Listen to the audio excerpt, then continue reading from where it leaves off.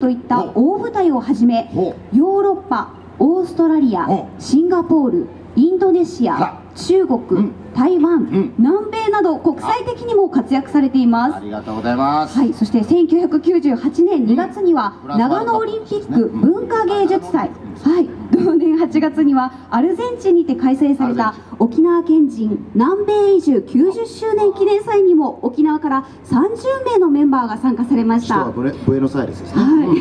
い、さらに2005年に2005年。はい、8月には日本では35年ぶりとなる35年ぶり。国際博覧会、あら。愛知万博愛・地球博の公式イベント、はいはい。はい地球大交流祭に7日間の日程で参加されました。トトロの家が建てられた 愛地球博ですね。そうです。はい、愛・地球広場のメインステージにて連日1時間にわたる公演を行われ、また2009年には地球スペシャルエイサーページェントと題し沖縄と日本各地の支部および海外支部を結んで、うん同時刻同時演舞を実現されました。そして2012年までに4年連続で同イベントを自主開催し、うん。地球を舞台にした活動を続けられています、はい。沖縄の文化を世界へと会員一同新たななる感動の創出に取り組まれている琉球国際ま琉球国祭り太鼓がうん今日来てくださっています、なぜ一番いいとこ感じちゃったんだというね。はい。これは眩しいからね。眩しい関係ないですね。読んでたってことですかね。はい。ということで RKB ラジオ祭り2014 2日目をはい。白熱に盛り上げていただきたいと思います。はい。沖縄国祭り太鼓の皆さんです。どうぞ